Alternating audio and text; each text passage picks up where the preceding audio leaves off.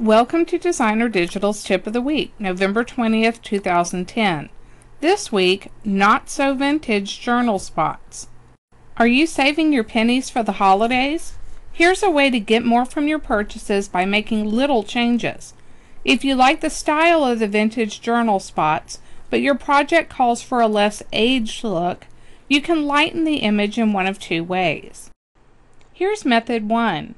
With the Vintage Journal spot open in your software, press Ctrl U or on a Mac system Command U on the keyboard to open the Hue and Saturation dialog box. Drag the Saturation slider all the way to the left, and then drag the Lightness slider to the right until your journal spot is lighter, but you can still see the details. When you're happy with the way it looks, click OK. Here's the other method. Open the Vintage Journal spot in your software and press Ctrl U on your keyboard or on a Mac system Command U to open the Hue Saturation dialog box. Drag the saturation slider all the way to the left and click OK.